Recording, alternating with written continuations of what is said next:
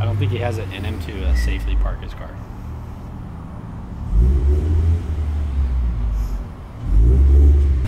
I didn't turn off traction control. If you're curious. Oh, gotcha. I did the I did the classic move.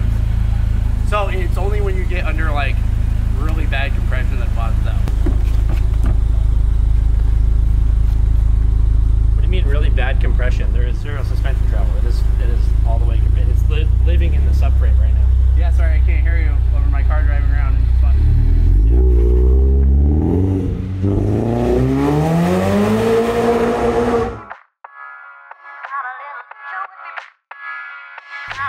out there being a child.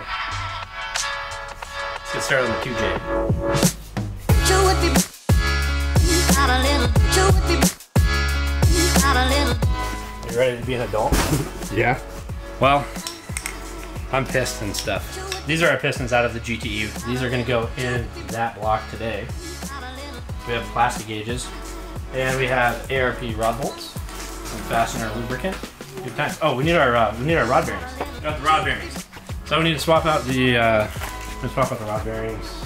Oh, we have to do it with these bearings. Yeah, we're supposed to do it with those bearings because those ones are already worn. It's all in FSM. I don't even know what FSM means, so For sure, sounds man. like something I'm not into. Is there a field service manual from Toyota that maybe we could reference? Factory service manual? I, this is in the, we're in the field. This isn't the factory. I don't know if you can look around, but this looks much more like a field than it does a Toyota factory. This looks like a Toyota factory to me.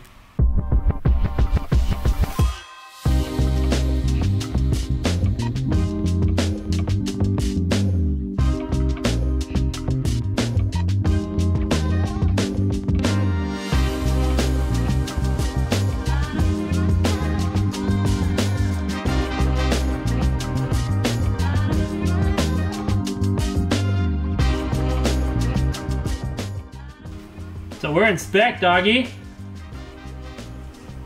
Well, a little bit bigger than 025. Bigger than 025? Told you. No, that's tighter tolerance. It means there's no wear. This guy hates being wrong. He was. He was No, I am very much afraid of us having to rebuild this motor. Look, all I gotta say is cylinder number one is shmoney. So, Dan at Rad Industries hooked us up with everything we needed to put this motor back together.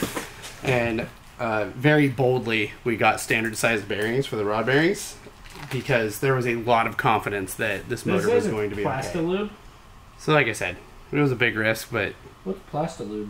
Nate was right. It paid off. I'm going to turn this back up to 65. We're going to put new bearings in, and then uh, we're just going to send it home. So here's how I know how to use plastic gauges, and it's like way deep in my memory banks. So my friend Nate, he was using plastic gauges after I had built my motor, and I was like, oh, that's how you do it. And so then I kind of like vaguely remembered.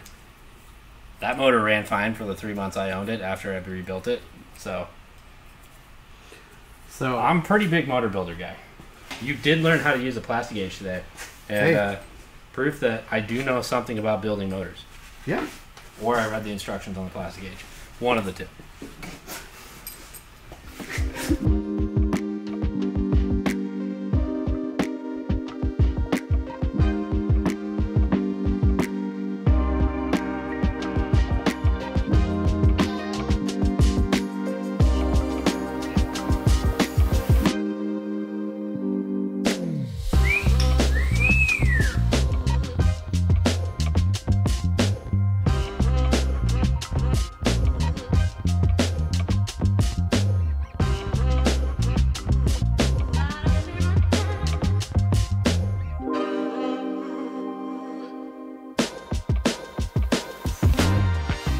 We don't have oil squirters in this one. We don't need them. We don't like squirting oil. Uh, We want oil to stay inside the motor. If it squirts out of the motor, there's less oil. That's a mathematical fact. Well, we don't need them if we have forged pistons, but we have cast pistons. So it would help, but that's why we're gonna run ethanol. That's our trade-off. You know, in my DARE program as a kid, they said, don't accept ethanol from strangers. That's why we only buy from trusted sources. It's called Jay's Garage. that sounds real legit. Look, I don't wanna talk. How you try and press the kid and really you was soft. All you know is capping, homie, you don't know the law. Pedal to the metal, you ain't catching me in park. Uh, I just hit the stop. Uh, I don't wanna speak. Talking all that good, so I just hit you with the please. Running up the score like Tyreek, I'm going deep. Watch me how I'm saucing, I be spreading it with ease. You gon' see the peace. You gon' see the flex when you hear these writtens. Trust me, you know the difference. What you working on? Well, I'm flocking the dash for the BMW because we're putting a roll cage in that we're getting from Cage Kits. And uh, to do that, you got to pull everything out anyway. So I figured while the dash is out, let's try to flock it and see how that comes out. I've never done it before.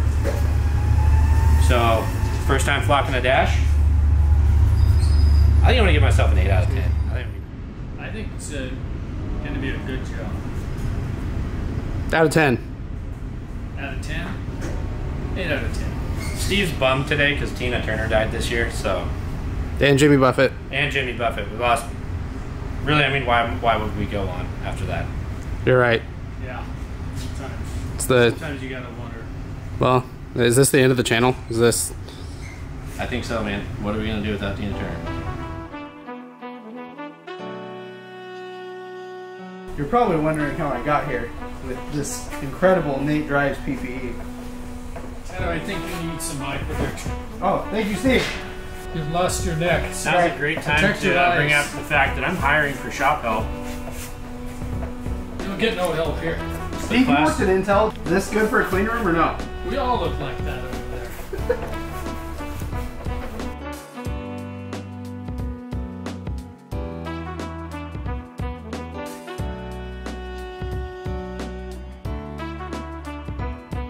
It is flocked to perfection. This is our first flock dash. I've never done this before, and it came out looking sweet. 2J. 2Day. Alright,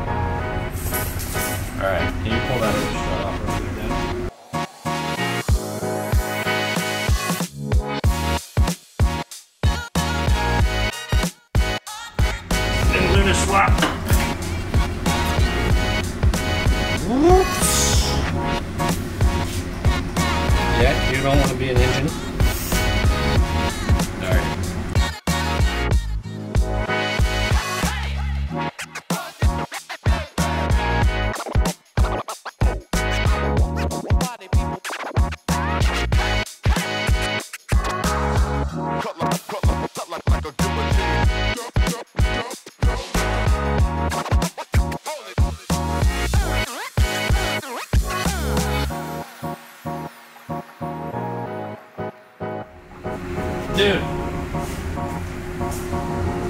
Whoa. Ah. What?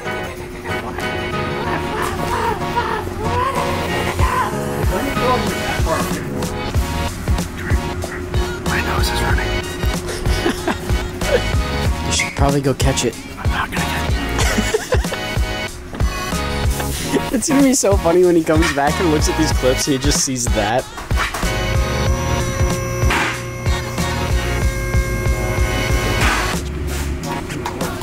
This.